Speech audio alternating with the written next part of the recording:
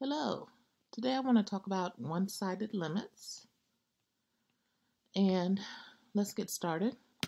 So just as a review, let's say recall, when we write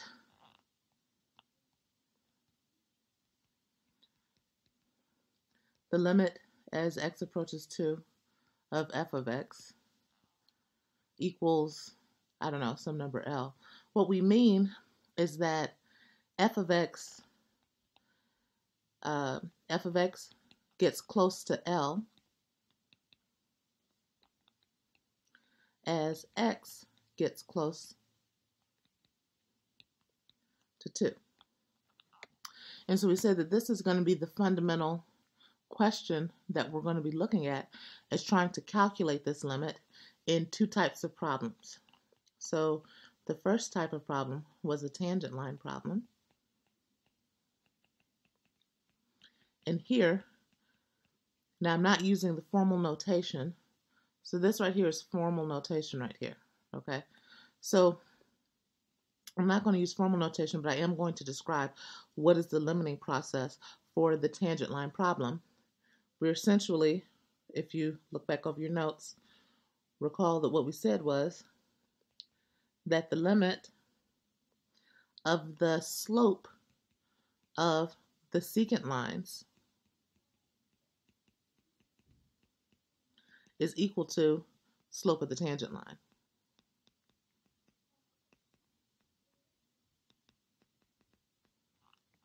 Okay, and so the picture for this was suppose you had a point and say this is, you know, x equals a. If you want the slope of the tangent line to the curve at x equals a, look at the slopes of the secant line. So look at the slope of that line.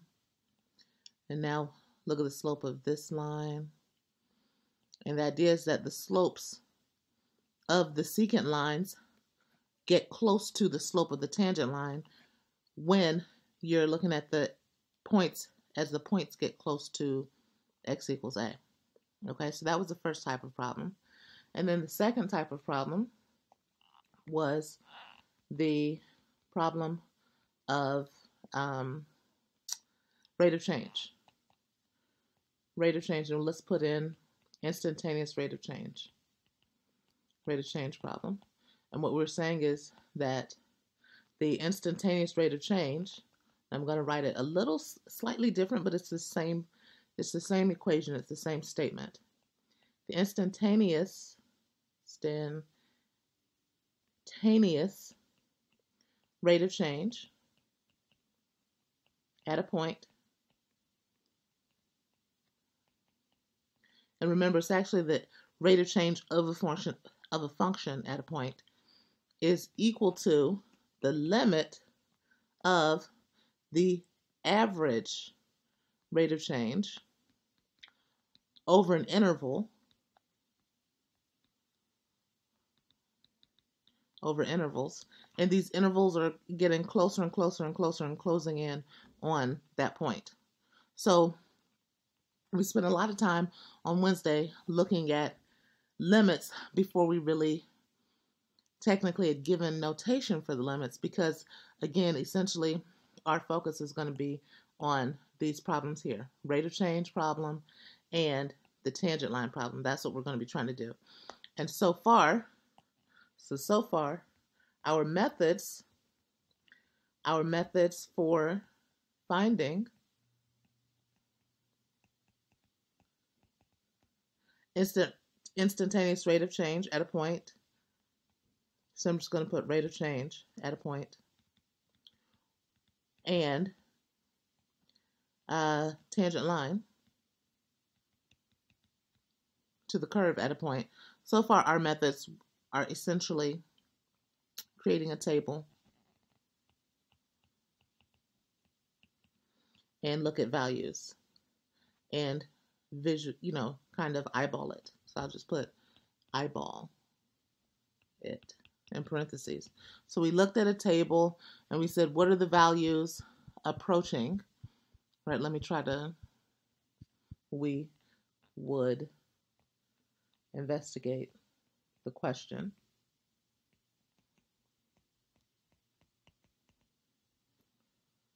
And here's the question. Um, what is limit x approaches to f of x? So what we do is we would create a chart and for our chart, we would pick values of x and values of f of x. We would pick values that are getting close to 2. Okay, so maybe we'd pick 1.9, 1.99, 1.999, 1.9999.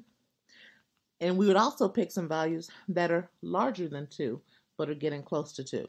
So maybe 2.1 and then 2.0. Uh,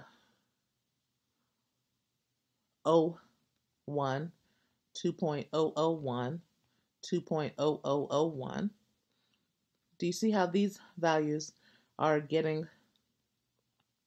Let me draw a picture to show what we're talking about. So if here's 2, now 1.9, maybe this is 1.9, and then this is 1.99 and 1.999. We are approaching x from the left. So for these values here, the top values, for the top values here, we are approaching x from the left because we're approach or not x, but we're approaching 2 from the left. So we are approaching 2 from the left. Now that's the key. And why do we say from the left?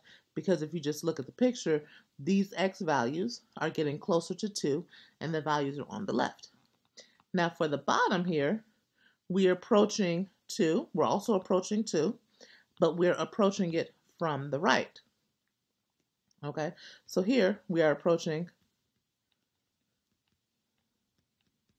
2 from the right.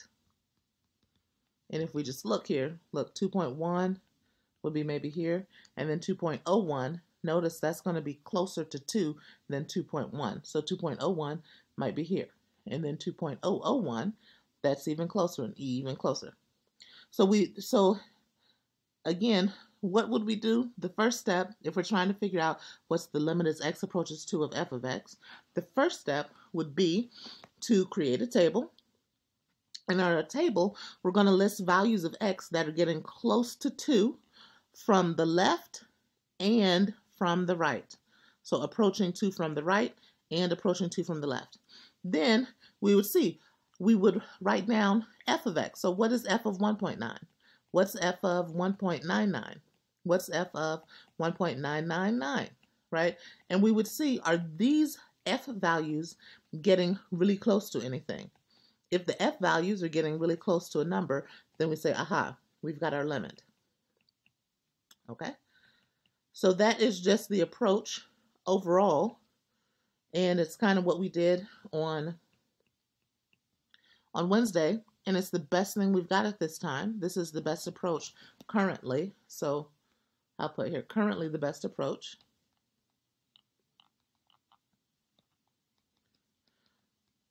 The best approach using a table when you're given a table of values. And we can do the same procedure. We can do the same procedure. Suppose we want the limit as x approaches 2 of f of x, and we're given a curve for f of x. So suppose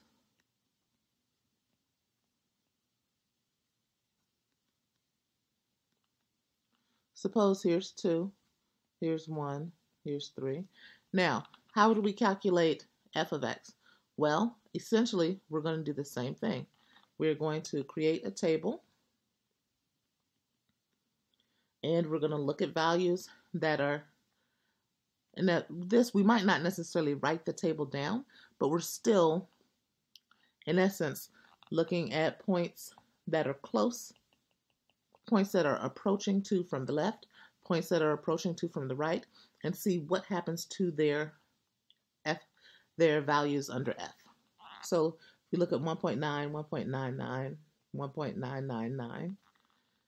Let's see, I didn't make a one, two, three. So from the left, if we look at 1.9, I don't know what number is that. It looks like, you know, 0.5, maybe it's about 0.5. And then 1.99, we're getting, you know, these are all approximately 0.5 is what I'll say. They're approximately all 0.5, but then I didn't really do a good picture. So let me perhaps draw a better, draw a better graph. Okay, so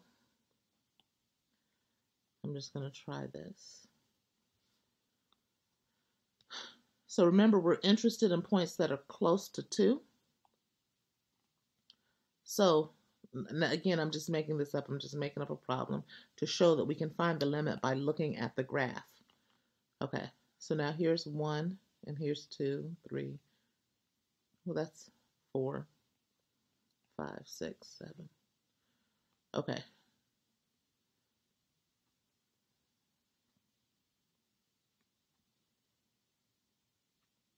Okay, so suppose this is my f of x. So here's x and this is f of x. Now when I look at 1.9, now this is 1, this is 2. Look at 1.9, I'm getting something. Do you see how close that is? That's, I don't know, maybe that's 1.9. You know, and 1.99. You can look and you can see that the closer we get to x, the closer we get to 2, the closer these values, the f of x is getting to 1. Okay, and that's not true just on that side. We can look at 2.1, 2.01, 2.001. It's 19 hours. So 2.1, the same thing. This is going to be some number that's slightly above 1, right? And as we get closer to x, to closer to 2 from the right, f of x is going to be coming down to 1. Okay, so let me write that down. So as x gets close to 2, f of x gets close to 1. And this is close, when we say gets close to, we mean it doesn't matter which side you're coming from. If you're approaching 2 from the left versus if you're approaching 2 from the right, you're still having f of x getting close to 1. So from left or right. Okay, and so that's what that picture means. Note, so let me put here warning, warning, warning.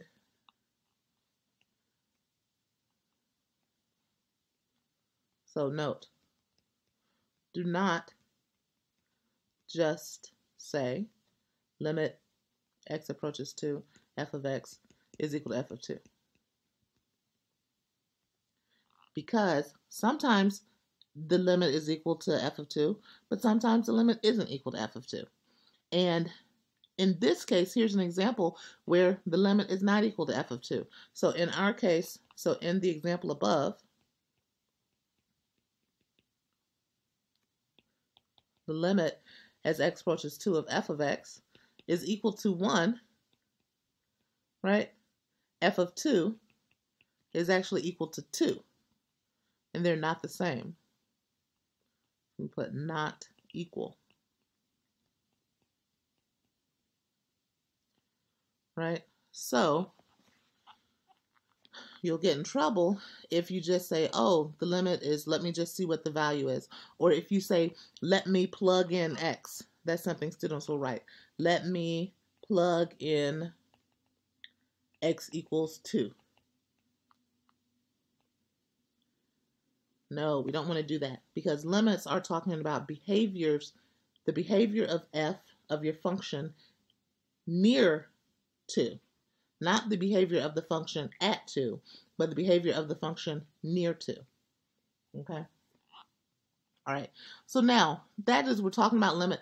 Now, if we're talking about approaching from the left, now we use this business with the limit as x approaches to with the little plus means we're approaching from the right.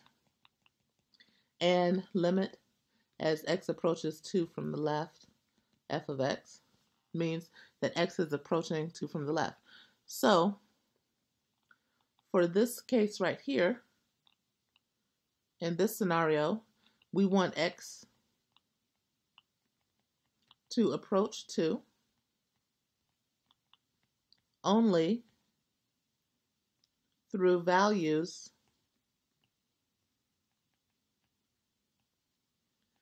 greater than 2.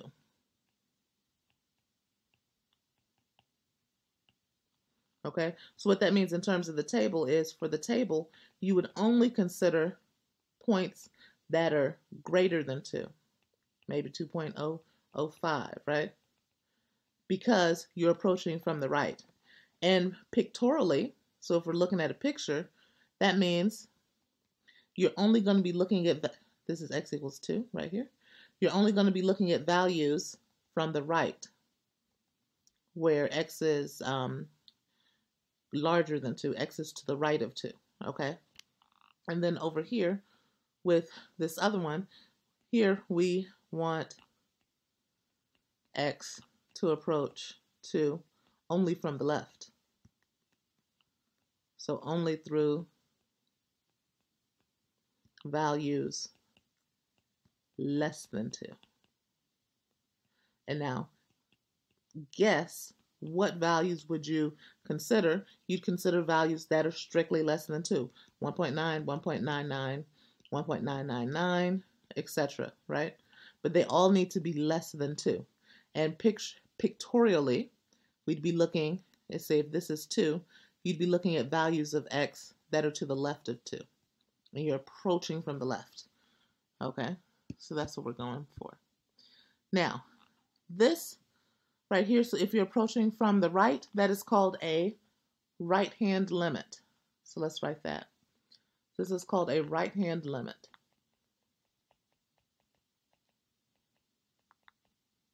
And if you're approaching from the left, big surprise, right? It's going to be called a left hand limit. Okay?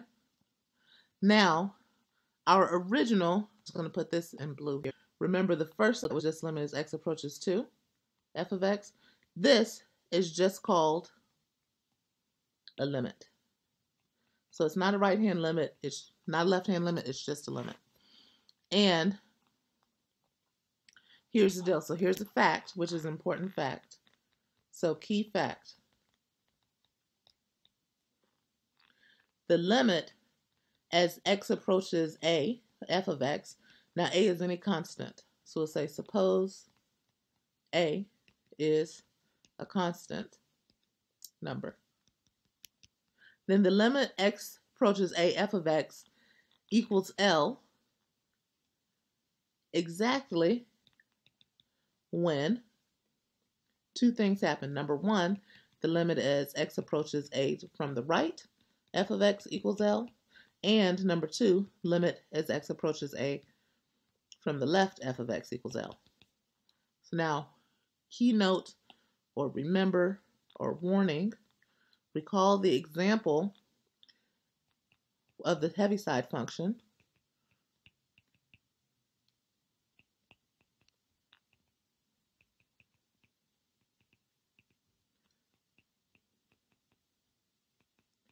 Okay, so that shows us that limits don't have to always exist.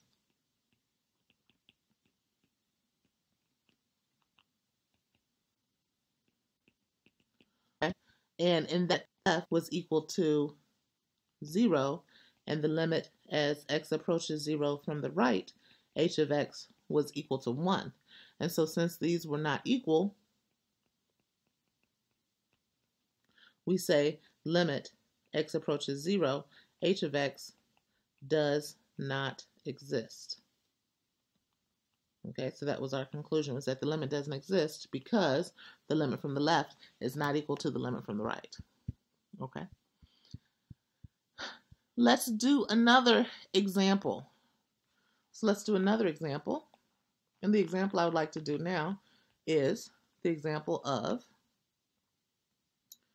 we want to calculate the limit as x approaches 2 of the absolute value of x minus 2 divided by x minus 2.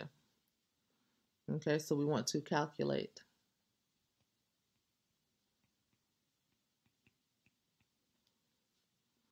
So, what is my graph? So the first thing I want to do is my first step, step one, is to graph my function. So in this case, my function is going to be f of x equals x minus 2 over x, absolute value of x minus 2 over x minus 2. Now, in order to do that, recall that, and this was from, this I guess will be from precalculus, if you have the absolute value of x, it's actually equal to a step function. So it's either x or negative x. It's x if x is greater than or equal to 0, and negative x if x is less than 0. So we're going to use that same approach to say that the absolute value of x minus 2 is equal to x minus 2 or negative x minus 2, right? So it's x minus 2 if x minus 2 is greater than or equal to 0, and it is negative x minus 2 if x minus 2 is less than 0. And now we can rewrite this because what does it mean? to have x minus 2 greater than 0, that means x is greater than or equal to 2. And x minus 2 is less than 0, that means x is less than 2. So let's go ahead and rewrite this as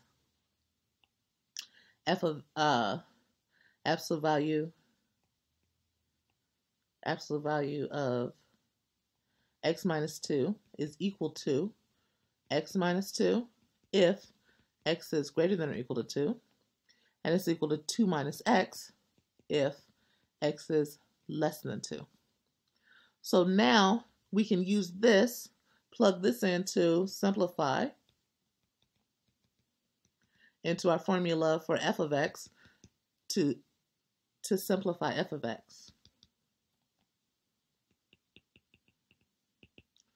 Okay, so what will we get? So we'll get that f of x, which we said is equal to the absolute value of x minus 2 over x minus 2.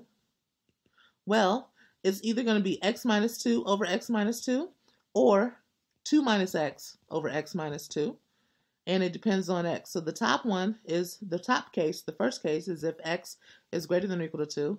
And the second case is if x is strictly less than 2. But we know that this first, in the first case, we just have 1. And in the second case, we have negative 1. So this is a variation. So we say note this is a variation of the Heaviside function.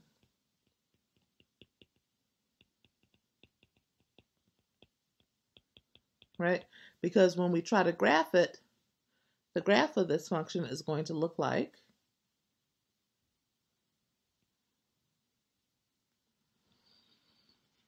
um, let's see here. I think I need to make it even longer. Oh, I messed up.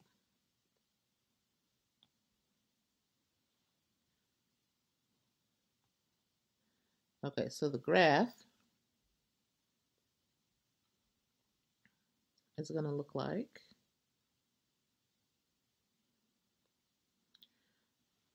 at 2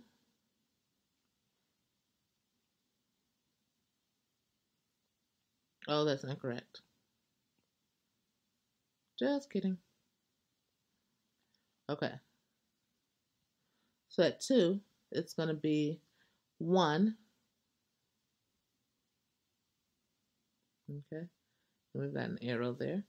And coming this way, it's going to be negative 1. We've got an arrow. And we'll have a closed circle here and an open circle here. So, the limit as x approaches 2 from the right side of absolute value of x minus 2 over x minus 2 is going to equal 1, right? Because here's 2, 2 is here. And as your as x gets close to 2, f of x is staying at 1, 1, 1, 1, 1, right? 1, 1, 1, 1, 1, 1, 1, 1. Whereas as x approaches 2 from the left, so we've got x is less than 2, but it's getting close to 2, f of x is constantly equal to negative 1. So the limit as x approaches 2 from the left, absolute value of x minus 2 divided by x minus 2 is equal to negative 1. Thus, the limit as x approaches 2, um, absolute value of x minus 2 over x minus 2 does not exist.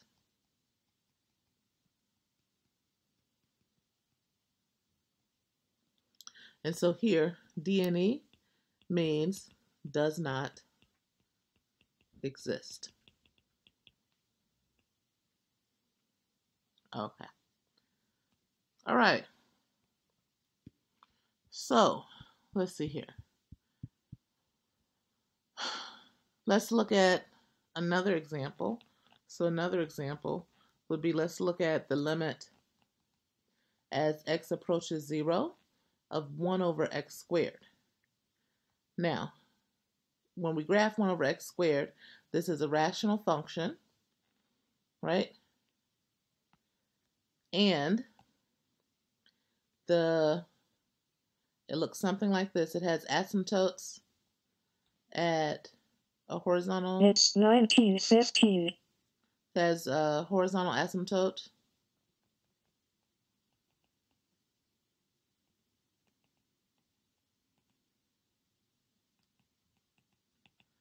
Y equals 0, which is the same thing as saying the x-axis, and it has a vertical asymptote. The vertical asymptote is x equals 0, which is the same thing as um, the y-axis.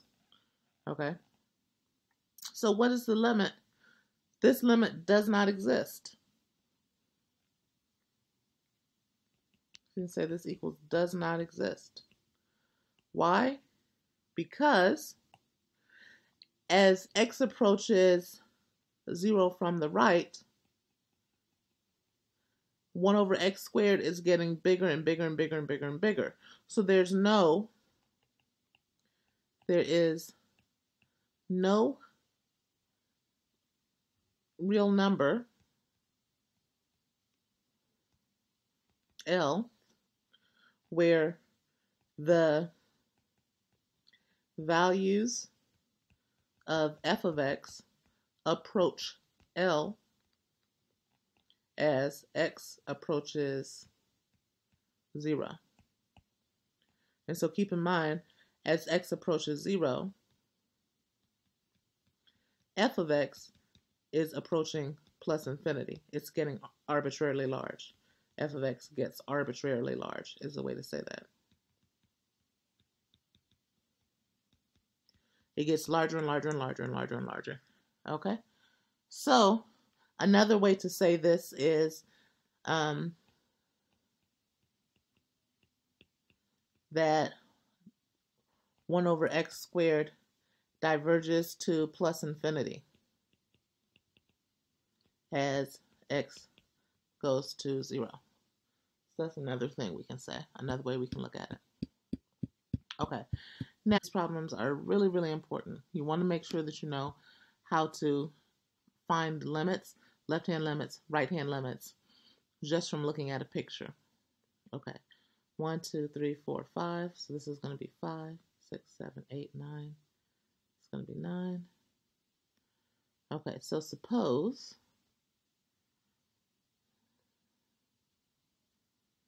we have something that's like that. So that's negative 2, and then 2, right? And then for 2, we're going to go up to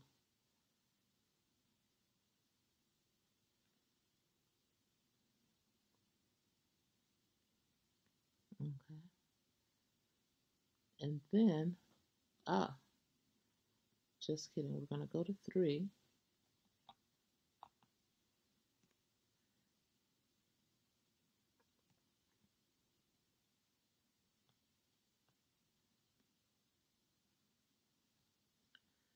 Okay, and now we're going to go up to 7.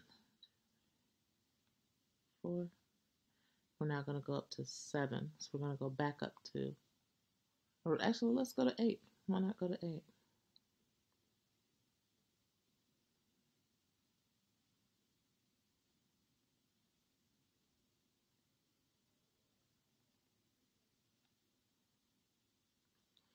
Okay.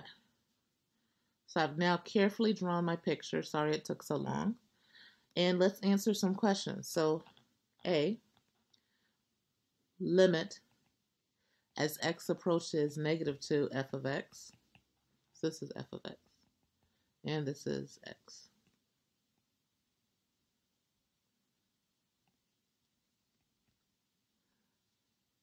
Okay. So here is negative 2. So what I'm going to do is I'm going to look here. X approaches negative 2 from the left, and the limit as x approaches negative 2 from the right.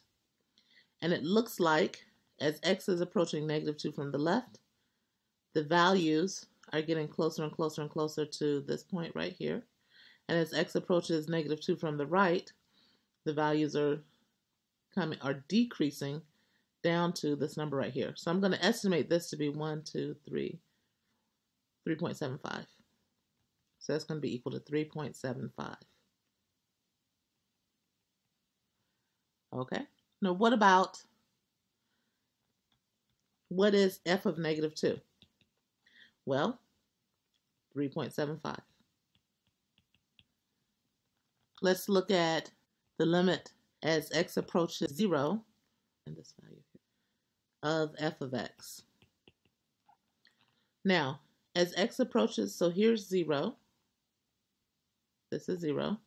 And as x approaches 0 from the left, f of x is getting close to 7. Do you see that? The f of x is getting close to 7. If you take a value here, right? So these are the, the f of x values are getting up to 7. So, and the same thing is true as x approaches 0 from the right. The f of x values are increasing to 7. This is going to equal 7. And this is the same thing as f of 0. No, it's not. What's f of 0? f of 0 is 5, right? So were you paying attention? Did you catch that? In this case, f of 0 is not the same as the limit of f of x as x approaches 0. Last thing, let's the limit as x approaches of f of x. Now, this limit is not going to, we're going to say not exist. Why?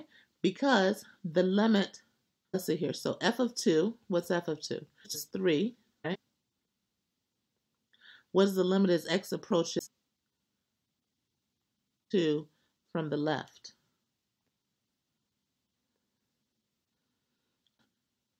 So this limit, x approaches 2 from the left, f approaching 3. Now what as x right? Find limit x approaches 0 from the left, absolute value of x over x. Limit x approaches 0 from the right, absolute value of x over x. Limit x approaches 0, absolute value of x over x. And then the limit as x approaches 2, absolute value of x over x. Okay.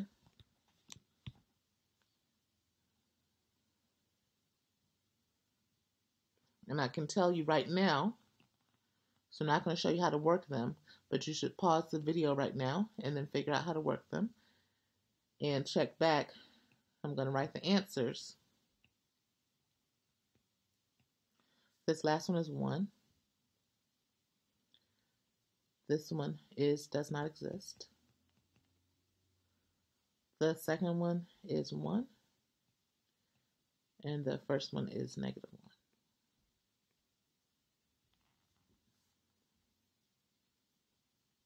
1. Okay. All right. Hope you have a good weekend.